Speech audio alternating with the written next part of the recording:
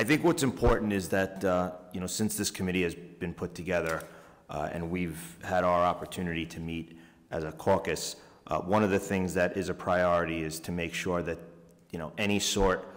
of politicization of uh, the Capitol Police is, is removed from, from what's going on on this Hill. Um, So I think that there's a, a good step in the right direction. Uh, As someone who has worn the uniform, as someone who has uh, responded to those calls, uh, something that's very important is when you respond to a 911 call or you're called uh, to help someone, no one ever asks whether you are, uh, what political party you're from. And that should uh, not only be in the street, but it should be here on Capitol Hill. And I know that